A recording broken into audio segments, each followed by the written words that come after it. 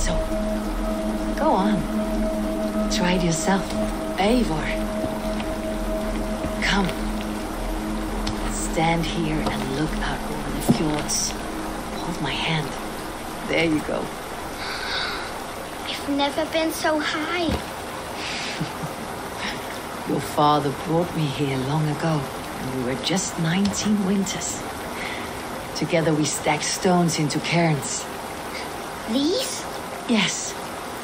Think of this as a test of mind and wit. Stack the cairn stones high and wide into any shape you like. How do I win? You win by playing, and a quiet mind is your reward. Let the air and nature's beauty soothe you.